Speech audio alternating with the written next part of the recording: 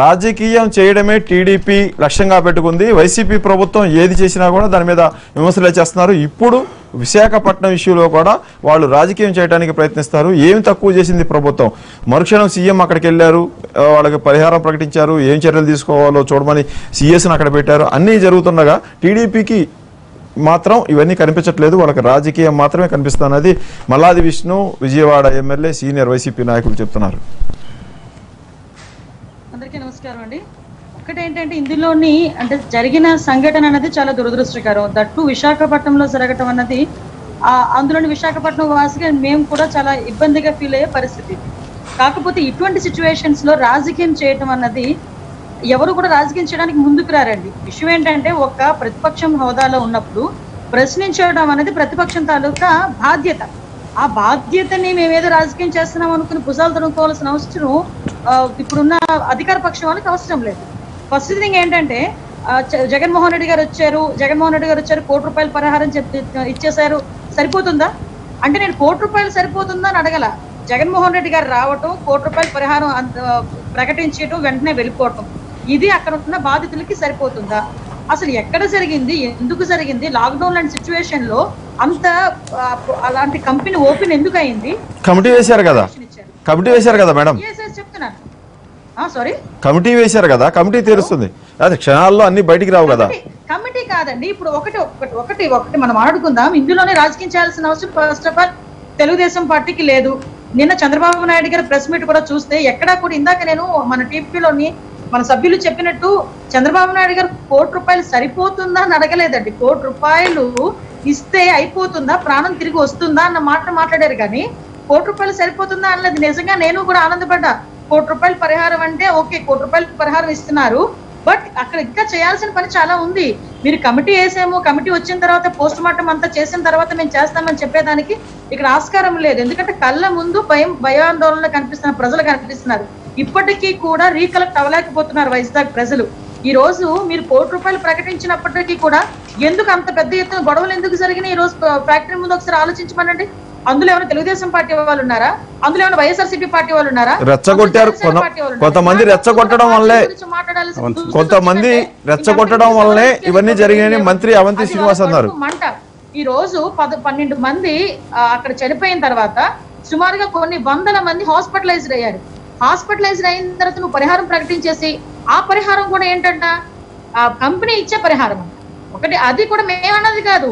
బొత్స సత్యనారాయణ గారు నిన్న ప్రెస్ మీట్లో ఒక ప్రెస్ సోదరుడు అడిగిన క్వశ్చన్కి ఆన్సర్ చెప్తూ మేము ముక్కు పిండి అయినా ఎట్టి పరిస్థితుల్లోనైనా తీసుకొని వస్తాము.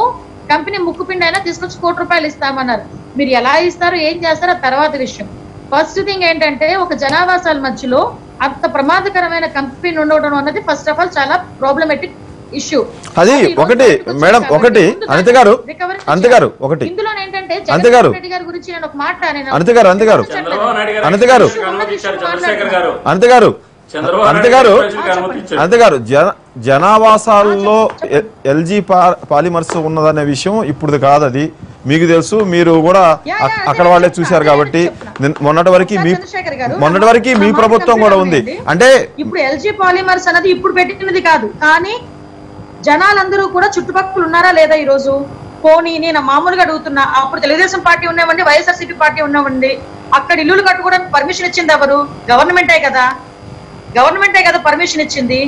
ఒక్కనొక సందర్భంలో ఐదు సంవత్సరాలకి మించో పది సంవత్సరాలకి మించో ఒక ఆక్యుపేషన్ ప్లేస్లో ఉంటే ఆక్యుపేషన్ ప్లేస్ కూడా వాళ్ళకి సంబంధించి జిరాయితీ కింద లెక్క కట్టి మనకి రిజిస్ట్రేషన్లు చేయటం కానీ వాళ్ళకి పట్టాలు ఇవ్వటం కానీ చేస్తున్న గవర్నమెంట్స్ ఇవి మన ప్రజాస్వామ్యంలో. మన అటువంటిప్పుడు అప్పుడే మనం కట్టడి చేయాల్సిన అవసరం ఉంది.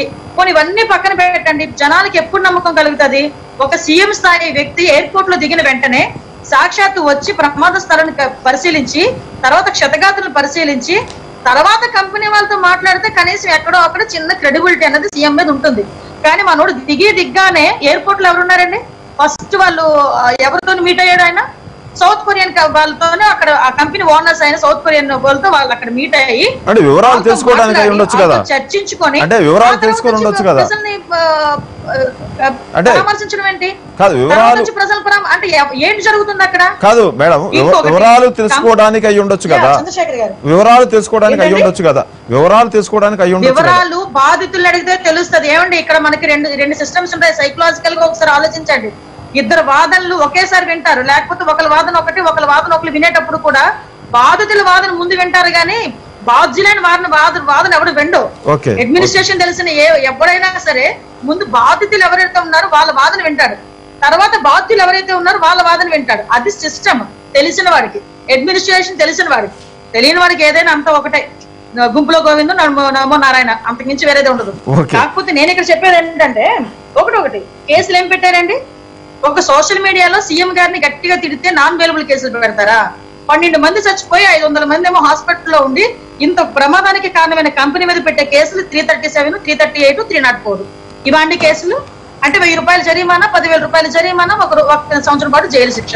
సరిపోతుందా? పన్నెండు మందికి పన్నెండు మీరు పన్నెండు కోట్లు ఇచ్చేసి వీడికేమో పదివేల రూపాయలు జరిమానా విధించేసి ఒక సంవత్సరం జైలు శిక్ష విధించేస్తే సరిపోయిందా? ఇదేనా ప్రభుత్వ పనితీరు? ఇది క్వశ్చన్ చేస్తే జనాలు ఏమంటారు? తెలుగుదేశం పార్టీ రాజకీయం చేసేస్తుంది. చంద్రబాబు నాయుడు పక్కన కూర్చోబెట్టినా ఇంకా కూర్చోవట్లేదు చంద్రబాబు నాయుడు. చంద్రబాబు నాయుడు గారిని పక్కన కూర్చోబెట్టే స్థాయి గాని అంత మగాడు గాని ఇంకా పొట్ల. దయచేసి అది ఆలోచించుకోండి. చంద్రబాబు నాయుడు గారిని పక్కన పెట్టాలంటే కొన్ని జన్మలు ఎత్తాలి వైఎస్ఆర్సీపీ వాళ్ళు. అంతేగాని చంద్రబాబు నాయుడు గారి గురించి చవాకులు చవాకులు మాట్లాడితే మేము చూస్తూ ఊరుకోవాల్సిన అవసరం మాకు లేదు.